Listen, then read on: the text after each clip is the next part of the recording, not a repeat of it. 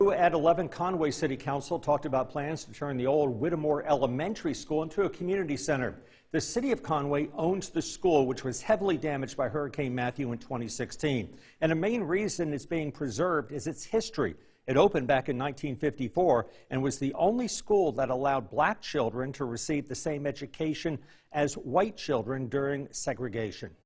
I think that if uh, that kind of experience that uh, our city professionals and our community uh, members and professionals in our community uh, come together around this issue, we are going to have a wonderful outcome.